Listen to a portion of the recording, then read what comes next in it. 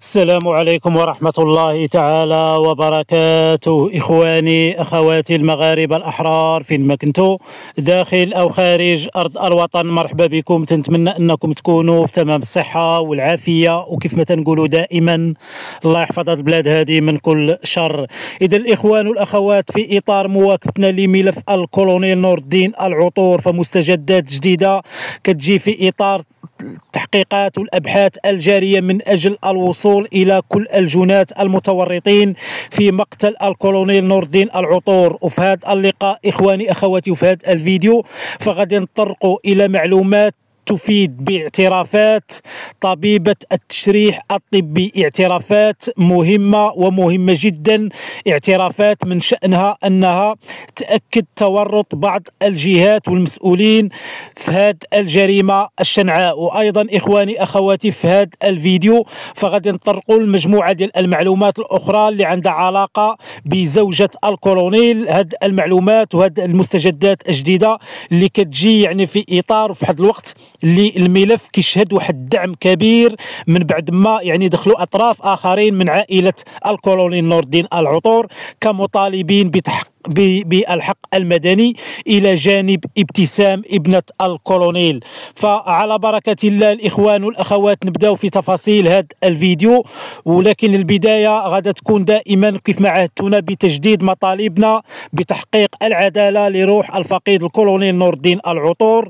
وأيضا نجدد دعمنا للمطالبة بالحق المدني ولكافة المطالبين بالحق المدني من أجل تحقيق العدالة لروح الفقيد الكولونيل نور الدين العطور. وأيضا نجدد دعمنا للمحامية الأستاذة زينب الخيار. وأيضا نجدد دعمنا للمؤسسات والفرق الوطنية المنكبة على تحقيق العدالة لحق لروح الفقيد الكولونيل نور الدين العطور. فإخواني أخواتي مستجدات جديدة ومعلومات جديدة تفيد بتصريحات واعترافات لطبيبة التشريح الطبي. هذه الطبيبة التي تمت الإشارة إليها في بدايات تفجر هذا الملف آه، عندما صدرت يعني معلومة تفيد بأن هنالك موظفة عمومية آه، مثلت بقوة القانون وبالقوة العمومية من كشاهدة. أنا ذاك وضعت كاحتمال بأن قد تكون هي الطبيبة. أو لا الطبيبه المسؤولة على التشريح الطبي. فعلا فالأمور مشات في هذا التوجه فالمعنية بالأمر هي طبيبة فعلا هي اللي كانت مسؤولة على التشريح الطبي. اللي ما دارش الكولونيل وعلى المصلحة هي كانت مسؤولة على المصلحة. فهاد الطبيبة تم عرضها وواجه قاضي التحقيق بمجموعة ديال التساؤلات. وكاينة معلومات اللي خرجات كيف ما كتعرفوا كاينة السريه تامه بخصوص هذا الملف لكن دائما ما كتخرج لنا معلومات وتسريبات اللي كتوازى مع الحقائق اللي واقعة واللي كنشهدوا أنها كتحقق. وبالتالي فكتبقى هذه المعلومات قريبة من الصحة إلى مستوى يعني آه نسبي قريب جدا من 100% فمعلومات واعترافات هذه الطبيبة إخواني أخواتي تفيد بأنها اعترفت يعني القاضي التحقيق بأنها فعلا لاحظت أمور غريبة على جثة الفقيد الكولونيل نور الدين العطور تستوجب آه إعطاء أمر بإجراء تشريح طبي. لكن فوجئت بزيارة ديال جوج ديال الأشخاص أو ثلاثة أشخاص. منهم شخص مسؤول اعطاها أمر بأنها يعني دير هاد الوفاة ديال ديال الكولونيل نور الدين العطور على أساس أنها حادثة سير. فكيف ما قلت إخواني أخواتي هذه اعترافات ومعلومات اللي خارجة. أه تأكيد لا يمكن كيف ما كتعرفوا ما كاينش دخان بدون نار. وعدة معلومات شاركناهم معكم في البدايات. أه مع المدة اكتشفنا بأنهم فعلا معلومات صحيحة وتم تأكيدها آه، يعني من بعد. وبالتالي فهذه المعلومات كتوازى مع سير وحجم التضليل وحجم الأشخاص اللي أشارت إليهم. الأستاذة زينب الخيار آه، بين مزدوجتين ناس كبار ومسؤولين كبار. وبالتالي فتتبقى الاعترافات قريبة من الصحة بنسبة نسبة كبيرة خصوصا والشهادات التي تفيد بأن الكولونيل جثته كانت عليها آثار يعني ديال جروح غائرة آه، وبالتالي عدم إجراء تشريح طبي أكيد غادي يجي من بعد الضغوطات أو أنها الطبيبة هي شريكة مباشرة أو أنها يعني لم تقم بأداء مهامها وبالتالي يجب تطبيق عليها ربط المسؤولية بالمحاسبة.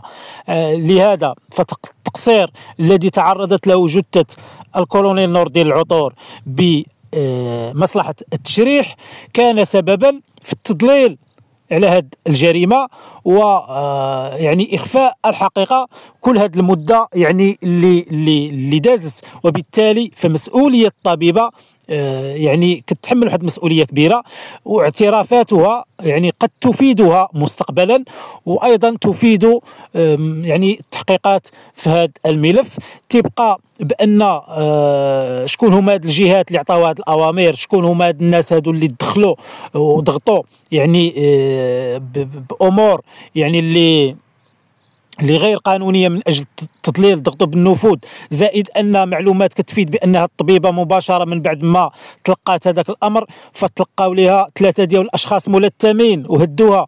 فهنا كنعرفوا حجم حجم هذه الشبكة. لهذا فأنا كنت كنقول بأن هذه شبكة كبيرة وكبيرة جدا كبر من الزوجة وبالتالي كنا كنطالبوا الزوجة بالاعتراف باش ان نوصل لأن كانت عندنا دراية ومازال عندنا دراية ومازال عندنا آه واحد ماشي إحساس وإنما لأن أكيد هذه الشبكة مازال كتشتغل لحد الساعة من أجل إعاقة ظهور الحقيقة والحقائق.